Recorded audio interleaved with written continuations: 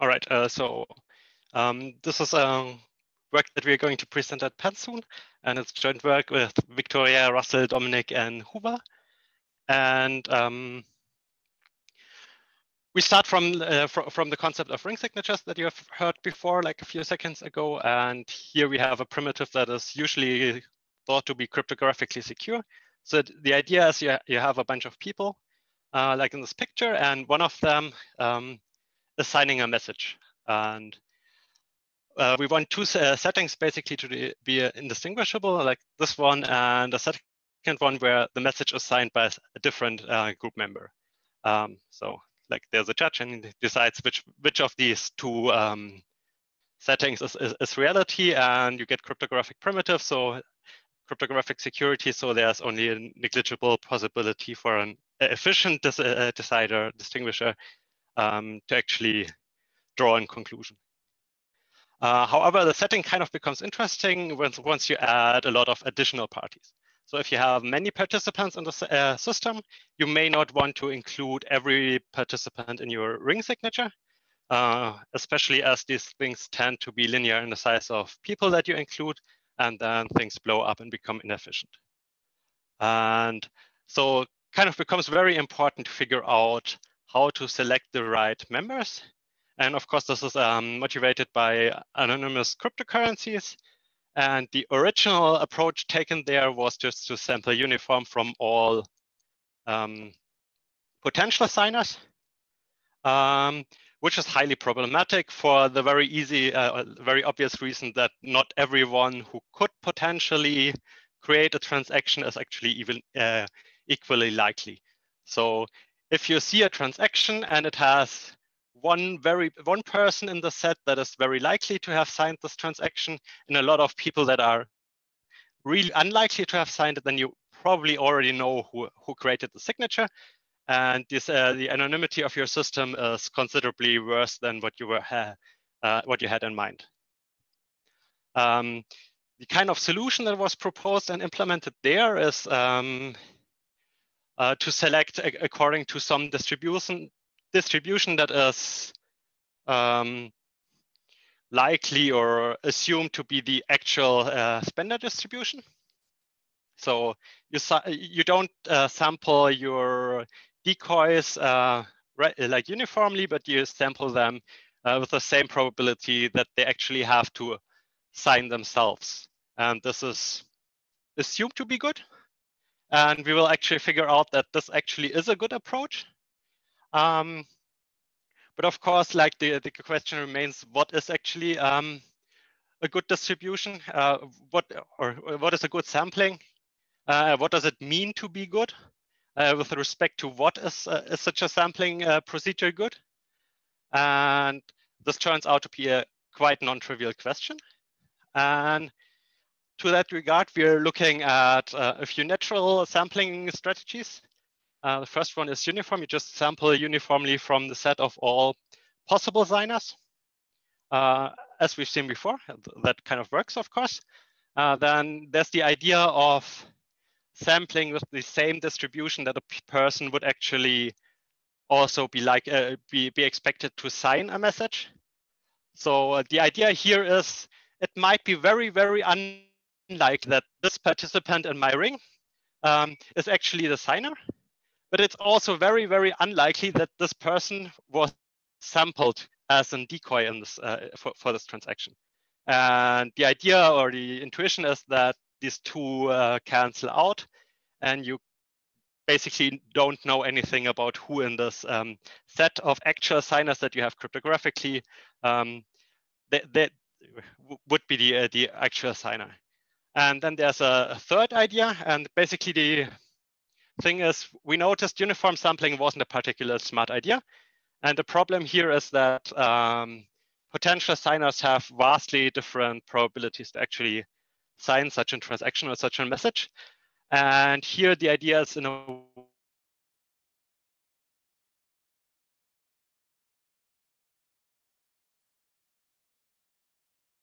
way to create a setting where all the T2 actually also sign this. Um, so how does this work in, in detail? You have a bunch of potential signers and you, you chop this up into slices and you hope that at least within one slice, the probability of the, this one uh, person to make this transaction or sign this transaction um, is equal. And uh, then you can just create rings within these, uh, these partitions. Um, and this is kind of justified if you look at uh, classical examples of anonymous currencies. Uh, usually the one information that is obviously leaked or that, that is clearly leaked the, uh, from that system is, is the age of the transaction. And the leakage that you would uh, you often look at is like the, the fact that um, addresses that very recently received some value will also, with high probability, use that uh, money quite soon again. Um, so chopping them up into pieces that are exactly the same age, so like within one block, for example, um, seems to uh, provide a reasonable trade-off. So you can kind of say they have the same probability. So this is the idea. Then, then you have a second problem, uh, I mean, you want to evaluate your your ring sampling strategies, right? And um, for for this evaluation, you need to some some sort of ground truth. And um, as we're dealing with an, an anonymous systems, uh, this is not super easy to come to. Um, what has been done in the past, and we're kind of also following this path, is I, I mean, you can have some probably unrealistic assumptions like the distribution is just uniform. Um, but that, as we've seen, like this says, like uh, our uniform sampler would be pretty good, which it is not. And you can maybe draw conclusions from a non-anonymous system. So you can say like, I know a lot of things about Bitcoin transactions. I can do some guesswork to see to say like this is how how people behave in, in, in bitcoin we believe that people might behave similarly in other currencies and and go from there. And um, to that end, we, we kind of looked at uh, Bitcoin transactions and here we uh, look at the age of a transaction at the point when it's spent.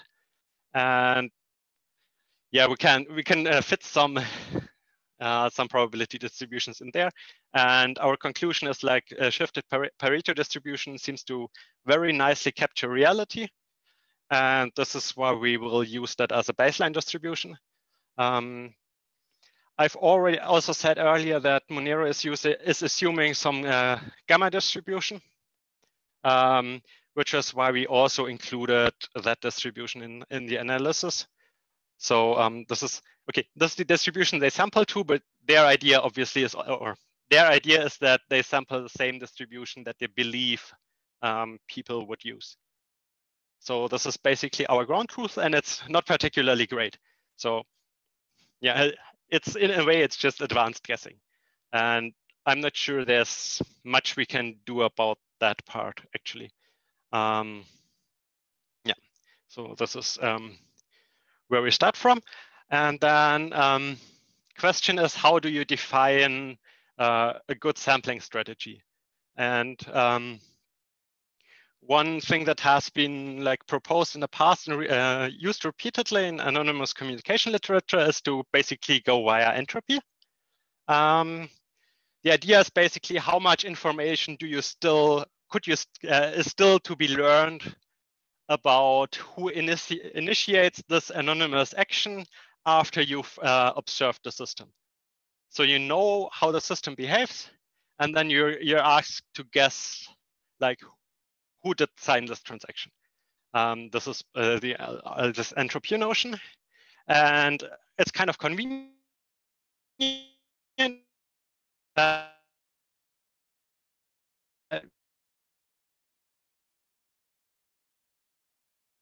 we have a number that is somewhat compare different setters, different currencies that you want to compare the anonymity of, uh, do stuff like that. And it also uh, kind of neatly ties into advantage. Of course, you don't, you will not get into into the like in the order of magnitude of a security parameter or something like that. Um, but well, there's just like, this is how it is. Um, so how do, do we go there? Um, there, there are many ways of, uh, of looking at entropy and looking at probabilities, and we're kind of conservative here. So we uh, to take min entropy or guessing entropy. And this is basically the probability of guessing um, the maximum over all, all, all, possible. So, so we, we take the probability of guessing the, like the most likely event. Um, and we also need this in a conditional setting. So um, given some side information, what is the guessing probability of, yeah, what is the guessing uh, uh, probability? And then lift this to an entropy setting, where we just like, it's just like taking logarithms essentially for, for both of those definitions. And then you end up at uh, what we call anonymity in, in this work. And it's really just what you expect. So you here we give this this is the ring sampling algorithm. So the probability uh, here here we have this um, uh, as like uh, conditional uh, information. You have the, you you're given the ring sampled, and you have to figure out how much information is still hidden or is still there about the actual signer of of, of this message. Um, yeah, so this gives you a value and it has kind of like a neat interpretation in, in many ways. So say um, if you have if you get like an, an anonymity of five, then it means like two to the five people are your effective anonymity size, and you're basically as well hidden as among 32 equally likely people. Um, and um, this is what we what we ended up uh, comparing in to this end. Um, then what you of, of course absolutely do want is some sort of robustness, um, because as I said earlier, we don't we don't even remotely know how how the real distribution of spenders look like. And now if you have like a comparison of different sampling strategies for, yeah, and they give you some numbers and this one looks way better than the other one, then maybe you actually would like to have a result that like, like you would like to rely on that fact, but you don't even know um, like like what the real distribution is. So you should be able to tolerate some divergence in the um, in the actual spender or, or signer distribution. And this is exactly what um, robustness gives us here. So if we have a reasonable good guess at what the actual um, signer distribution would have been, then anonymity also gives us an reasonable approximation of um, the actual anonymity in the actual system. So yeah, this is pretty good in that regard or useful. Um, and then once you have such a uh, definition, you kind of start by looking at uh, corner cases, edge cases. And one obvious example that you want to look at is, is looking at, at an all sampler. Here, the all sampler is basically the simple setting, the trivial setting, right? So I said you could have the setting where you really, really have a ring signature by everyone. And what you would hope for is that if you include everyone in your ring signature, you basically get an optimal anonymity value. And our result here can be interpreted in exactly this way. And it says basically the, um, uh, the anonymity in such an all sampler is uh, only depends on the um, like on the on the signer distribution. And of course, if you already know beforehand who will be the next signer, then there's no hope to uh, have any more anonymity in the system left. But if there is a high level of entropy in the system, so you don't really know who is going to be the next signer, then our anonymity definition will tell you that this is perfectly preserved. So it still stands there. It says you exactly um, yeah, how much anonymity you expect to have in such an all sampling setting. Um, then the other corner case is the one sampler. And obviously, if you have a ring signature that is signed by exactly one person, then you shouldn't have any anonymity left. Because obviously you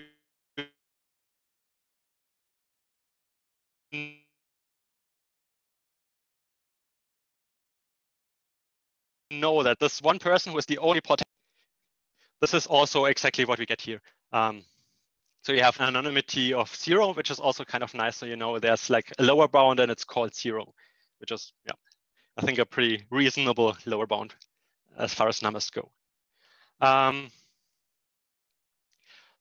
so um,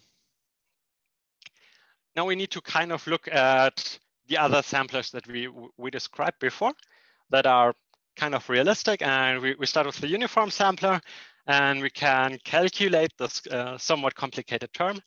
And what we learn from this is essentially if, if we have an uniform uh, signer distribution, um, then we get optimal anonymity fro uh, fr uh, from, from this uniform sampler, which is also kind of maybe not surprising.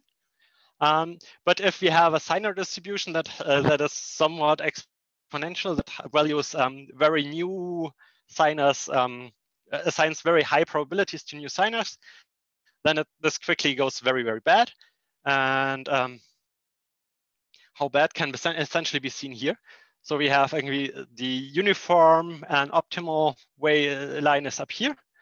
And once you add a few accounts to the system, so obviously as, as there are more accounts in the system, already like this probability drops, uh, the anonymity drops.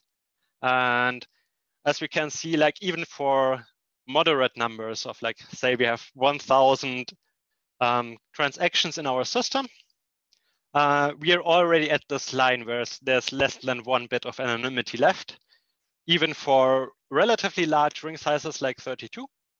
And um, for orientation, uh, realistically, we have something between 10 and 16 for systems like Monero. So this is the setting in which we, we expect, expect to operate in a way. So then there's the mimicking sampler, and this is our formalization of what Monero is currently doing. And this is basically having an estimation of uh, signer probabilities and picking according to that uh, probability. And uh, we have here a very ugly divided by two in our anonymity term. And this is the best we could prove in closed form. But if we uh, if we get a bit more concrete and look at um, concrete distributions and don't uh, restrict ourselves to closed forms, but just do some computation, um, this is the the bound that we managed to prove. It's down here the, the optimal is still here, the, uh, the uh, red line. And for all the settings with all the distributions, we are getting reasonably close to this optimal value. Um, so it's not perfect, but reasonably close. And that kind of supports the intuition that sampling according to the actual uh, expected distri uh, signer distribution is a moderately good strategy. Um, then there's our partitioning sampler. And here we restrict the um, assumed distribution to actually be flat for within one block. So as I said, like we we explicitly choose this uh, this uh, sampling strategy because we assume that within one uh, cryptocurrency block, uh, the probability that each of these possible signers that are included in that block as outputs uh, are equally likely. And here we also get an optimal result. So um, if we follow that um, strategy and our assumption is valid, then you get optimal anonymity. Uh, now, of course, this is kind of tricky, and we see this already here on the right side. Here, there are not enough um, signers to form another partition to, to, to add more rings to the system. And so we have some cutoffs between blocks where we have to mix things from an older and from a newer block, and there already the assumption is um, not super accurate in a way. Um, yes, so basically there, there are two valid sampling strategies that we came up with. The one is, is mimicking sampling, um, which of course suffer, suffers heavily from the fact that you would need um, at least close estimate